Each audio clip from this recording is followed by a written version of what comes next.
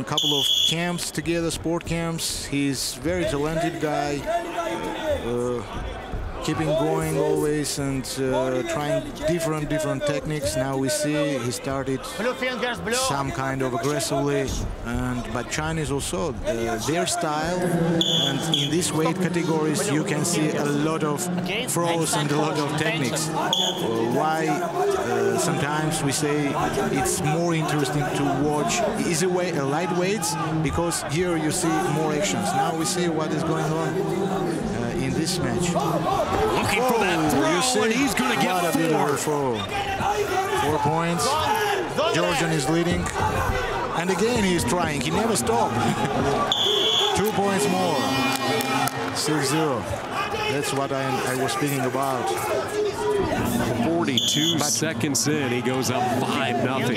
Referee decided that was just step out, not uh, takedown. So that's why score is 5-0 instead of 6-0. Cao in some trouble, being pushed toward that protection area. Again, Tsurtsumia working on the arm, and I think he's going to get another one. He'll What get happened? two this time, so he's up 7 nothing and trouble brewing for China. Boy, he is a hammer coming right at the Chinese wrestler. Heel gears correct. As that two on one switches up, Three working on the arm. uh, three of these four uh, finalists for bronze match, they were fighting under 23, uh, competing under Europe under 24. And again, the same technique, 4-0, great match.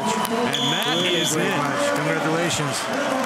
Exactly 90 seconds in, halfway through the first period, Nugzari Tsurtsumia makes quick work of Cao Liguo. Couple of four-point throws.